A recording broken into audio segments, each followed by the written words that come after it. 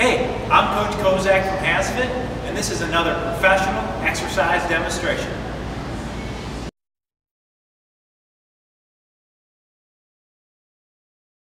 A manual tricep extension is a great way to isolate your triceps with the body weight movement. This is a challenging exercise, but there are a few different variations I'm going to show you that can either make this easier or harder as you go. As you can see, I have a bar set up in a rack.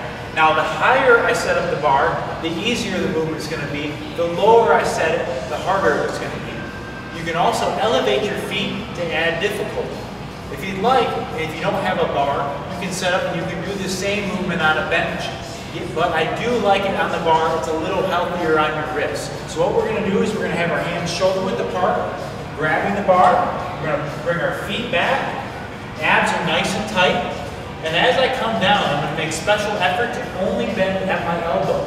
This is gonna isolate my triceps. I don't want you to come down and do a push-up or a press, but instead, I'm going to only bend at my elbow and I'm going to tuck my head under the bar and back up.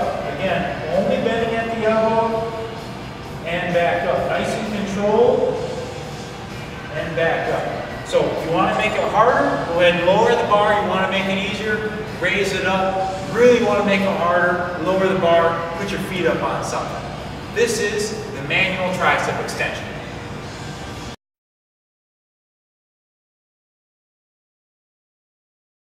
Thank you for joining me today. If you enjoyed this demonstration, make sure you check out HASfit's website for hundreds of additional free workouts. We have our free meal plans to lose or gain weight, as well as our complete 30 to 90 day fitness programs.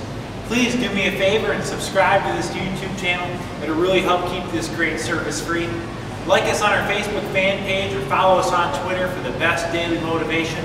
And while you're at it, stop by our store, pick up a poster or a t-shirt, whatever it takes to help you stay motivated and on track. I'm Coach Kozak from HASfit, and I'll see you at your next workout.